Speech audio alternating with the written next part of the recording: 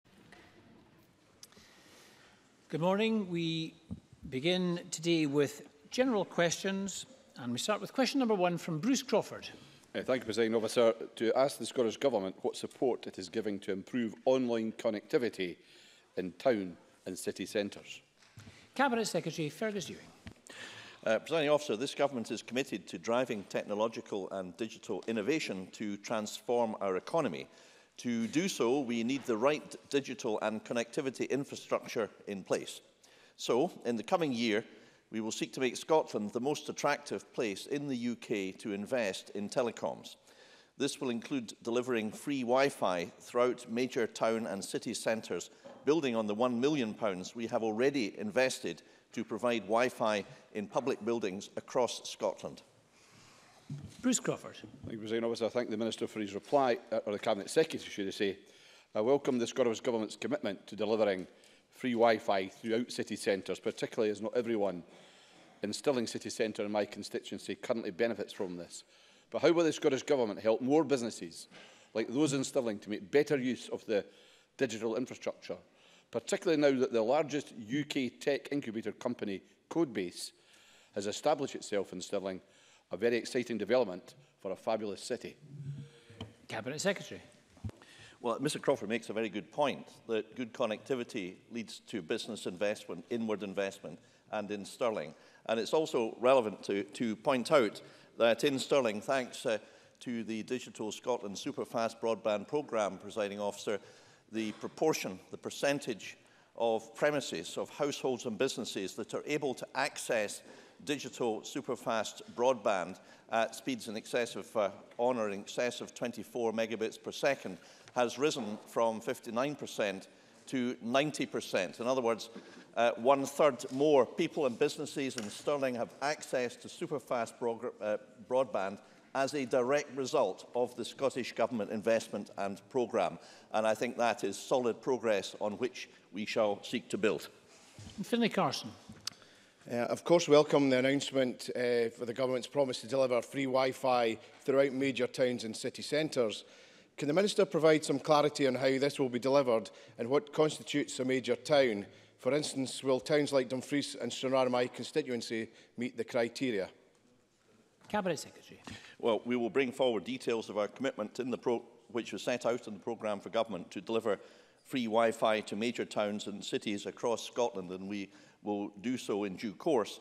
I think it's important to point out that we have already, as a direct result of uh, Scottish Government investment, uh, provided uh, Wi-Fi access to a large number of libraries, community halls and sports centres, and also facilities for the most vulnerable in society, such as homeless hostels and residential care homes. And as a direct result of uh, our investment, 99% of Scotland's libraries now offer free public Wi-Fi, an excellent facility, and I'm grateful for the chance to publicise that. I'm also happy if Mr Carson wants to write to me to consider any representations that he makes regarding any specific towns in his constituency very carefully indeed. Question number two, Pauline McNeill to ask the Scottish Government whether it plans to put specific provisions in the Social Security Scotland Bill to rule out private contractors conducting disability assessments. Minister Jean Freeman. We have made clear commitment to this Parliament and to the people of Scotland that private contractors will not be used to conduct disability assessments and I will deliver that commitment. But I want the member to know that I have looked at this issue in detail And my view is that a legislative ban is the wrong way to address the matter because it brings with it significant potential for other difficulties and unintended consequences to occur. I have offered the member some examples of that. I don't want to take up more time, presiding officer, but let me say that uh, my belief, like hers, is that this policy of not using private sector contractors is the right one uh, to take for Scotland. And I want to make sure that a legislative ban doesn't inadvertently deflect from or compromise that delivery. As the member knows, my door is always open and I'm very happy to discuss this further with her and to talk through the basis of my decision. Polly McNeill. Uh, Presiding officer, um, I'd like to welcome the statement that Jean Freeman has consistently made on this important question about who should be allowed to uh, do the work of assessment in the social security system. Um, I'm sure she'll agree with me um, that there's very strong feeling amongst claimants who've had traumatic experiences dealing with private contractors. I fully appreciate that she's given it full consideration. What I would ask is how then can we ensure that in the future, in future governments, that if it's not on the face of the bill, that future governments will respect the implementation of a system which is a public system and not a private system. Minister. Thank you. I thank Ms McNeill for her support and for her additional question because it raises a matter that has come through over the summer and from many key stakeholders and that is the point about future proofing what we are doing here in terms of social security. And I have to say that there is a limit to what we can do. We are setting the, through this legislation, which will come to this Parliament in due course for debate in this chamber as it is currently now in committee, through this we are laying a robust framework for a rights-based social security system founded on the principles and so on of dignity, fairness and respect that I've already touched on. And we can in that set in statute some key elements of it. However, what we cannot do in that legislation is preclude future democratic decisions by people in Scotland and who they elect, who they send to this parliament and who becomes a future government. So there are limitations to future-proofing that can be undertaken. But as I've said, I'm very content to talk further with the member and with others on this matter and on others around our uh, draft bill. Sandra White. Thank you very much, President Officer. Um, Minister, we met with the you know, users, or I hate to use the word users, I must admit, but we met with people from the Social Security, at the Social Security Committee this morning and we heard uh, evidence from the claimants that they were absolutely adamant that they did not want private, uh, you know, contractors to deliver uh, the Social Security bill and particularly in the assessments. But they did welcome the guidance which is in the bill and they were very supportive of that, which basically gives a bit of flexibility, as the Minister has already said, just in case there is a future government that doesn't look up, does not look upon the Social Security Bill as favourably as this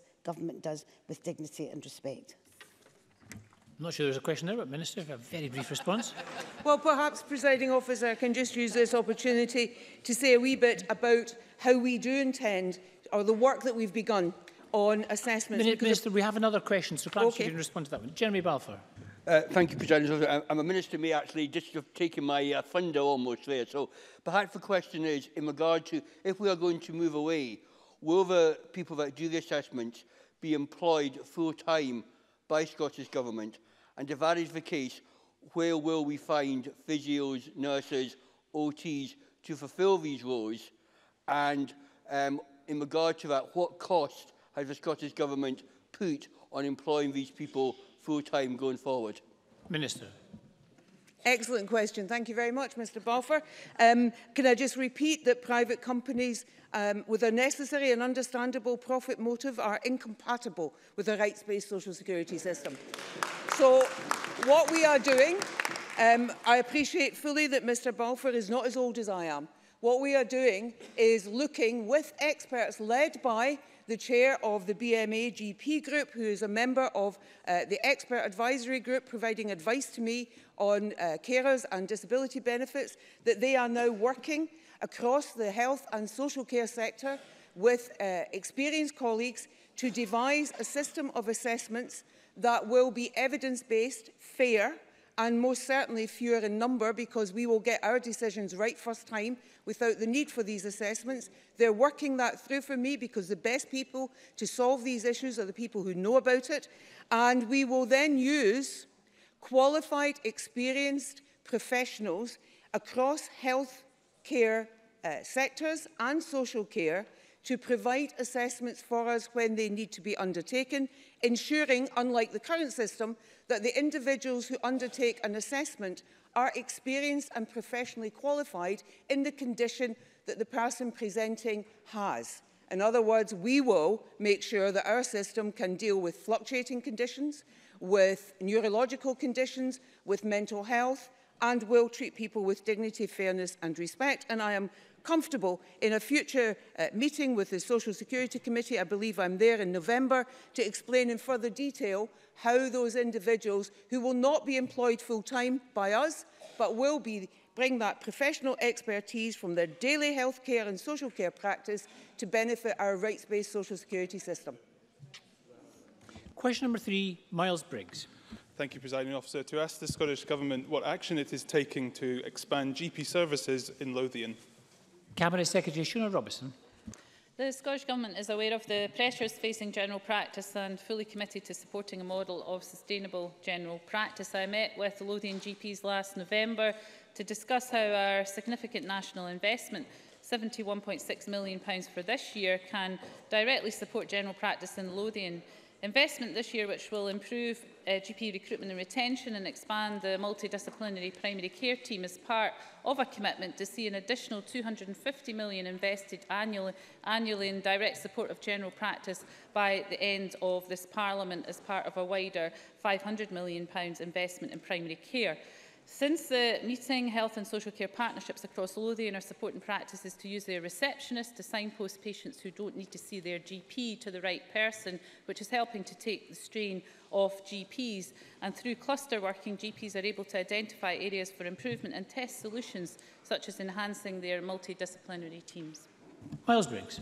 Is the Cabinet Secretary aware that over 40% of GP practices within NHS Lothian are either full or not accepting new patients or restricting registrations? Does she agree with me that this is an indication of the crisis affecting GP services as they struggle, struggle to cope with demand?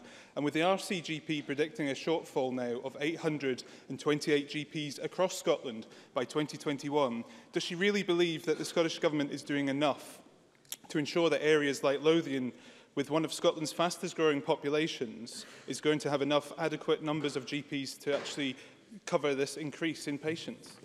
Cabinet Secretary.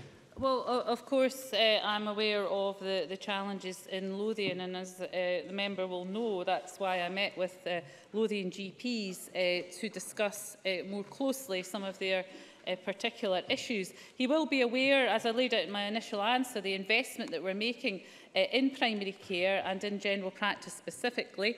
Uh, there uh, is a, uh, a lot happening within the expansion of the primary care workforce, of course, not just increasing the number of GPs, but also other uh, multidisciplinary uh, team members. We have increased the recruitment and retention fund.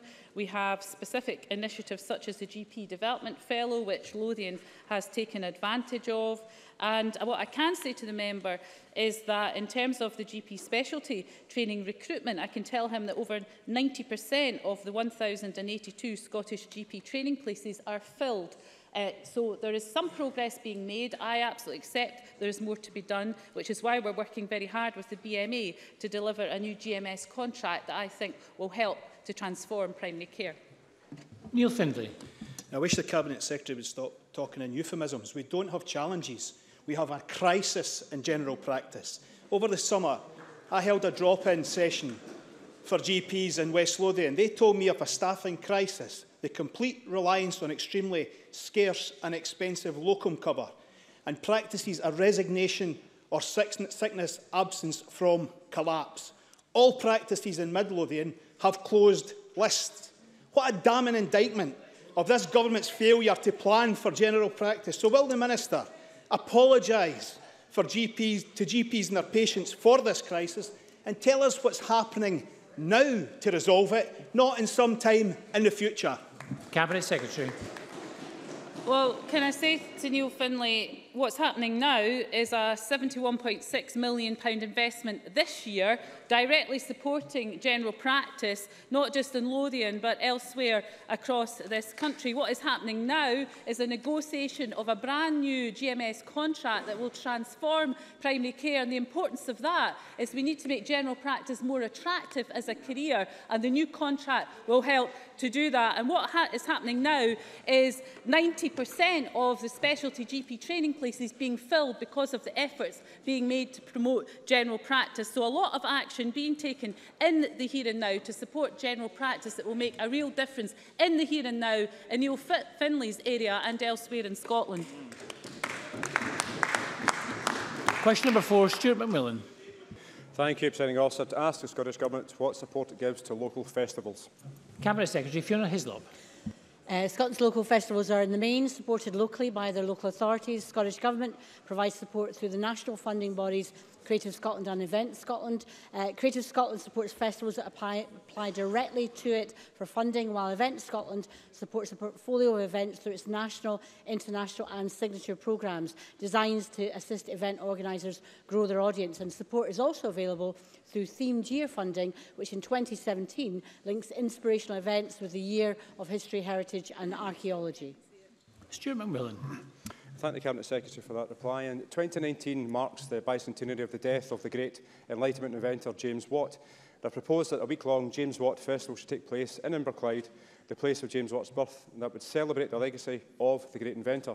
Does the Cabinet Secretary agree with me that this festival could play an important role in re-establishing Scotland's place internationally as innovators, thinkers and cultural leaders, and would also have the positive impact upon Inverclyde, the teaching of STEM subjects, wider society, the economy and culture.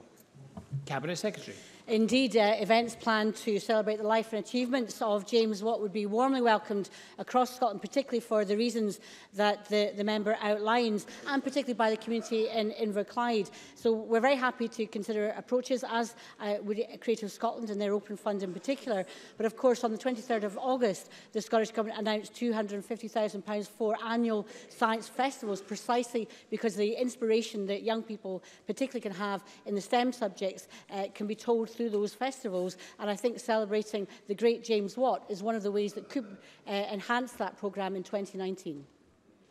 Question number five, Stuart Stevenson. To ask the Scottish Government what information it has regarding the provision by local authorities of parking sites that is suitable for gypsies and travellers. Minister Kevin Stewart. Thank you, President Officer. The provision of gypsy traveller sites is a matter for the relevant local authority and Scottish Government does not routinely collect information concerning sites in Scotland. All Scottish uh, local authorities must, by law, produce a local housing strategy that sets out their priorities and plans for delivering housing and related services. These strategies should include plans for meeting any Gypsy traveller housing needs, including addressing any requirement for the provision of suitable sites. Stuart Stevenson. Noting the particular difficulties in Murray, where Tory part-time MP Douglas Ross was recently a member of the council administration that has failed to provide any such parking sites, does the Minister believe that rather than vilifying travellers who make a valuable contribution to society, as a top priority problem, as he described it, Mr Ross and others in his party should work to address that deficiency. Minister. Minister. Yes, I do agree uh, with Mr Stevenson. As I set out in my first answer, the provision of suitable gypsy traveller sites in Murray is a matter for the Murray Council based on their lo local housing strategy. councillors should look at the needs highlighted in their local housing strategy and address the issue accordingly. Uh, gypsy traveller communities are among the most disenfranchised and dis discriminated against in Scotland. The Scottish Government values the gypsy traveller community, the contribution they make, and the important role they play in enriching Scotland socially, culturally and economically. And we are committed to tackling all forms of discrimination and promoting a multicultural society based on mutual trust, respect and understanding. Question number six, Claudia Beamish ask the Scottish Government what progress it is making to ensure that the voluntary sector groups are treated as equal partners in the development of integrated health and social care. Cabinet Secretary Shona Robertson. The Scottish Government promotes and values the contribution which the voluntary sector and other third sector organisations make to the integration of health and social care Integration authorities must involve the third sector in the strategic commissioning and locality planning process and a third sector representative is required to be a member of the Integration Joint Board. IJBs also have the flexibility to include nominations such as a representative from the voluntary sector. However, this will vary due to local circumstances. Claudia Beamish. I thank the Cabinet Secretary for that answer, but it's not addressing some of the needs and concerns of the voluntary sector that I represent in South Scotland.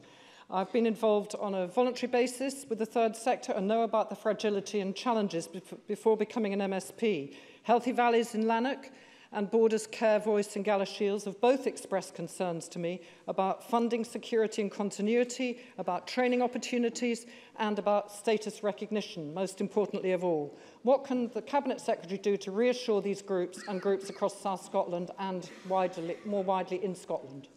Cabinet Secretary. Well, uh, first of all, if Claudia Beamish wants to write to me with some of the specific concerns that those local organisations have, I'd be happy to look into them in more detail. What I can tell her is that the Scottish Government has established and supported a network of third sector interfaces to support uh, and uh, fund third sector organisations at a local level. So funding of uh, over £12 million pounds, uh, was provided to 32 third sector interfaces covering each local authority across Scotland. And I would have thought organisations in her area would have benefited from that. But if she wants to write to me, I'm happy to uh, look into the